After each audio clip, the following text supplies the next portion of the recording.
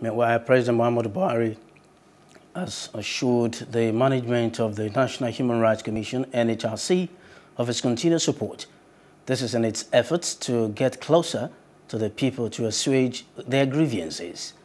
The President spoke on Friday at the State House of Abuja when he received the Governing Council of the Commission in the audience.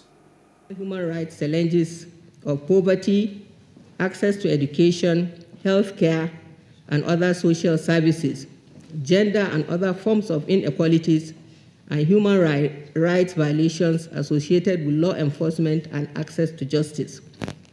Mr. President, sir, these challenges have made the existence and the mandate of the Commission in Nigeria today ever important and strategic.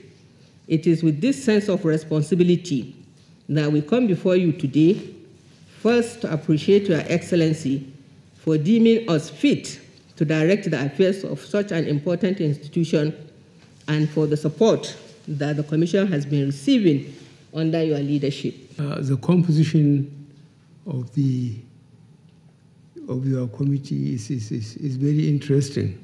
It covers the whole spectrum of governance, and this is very interesting.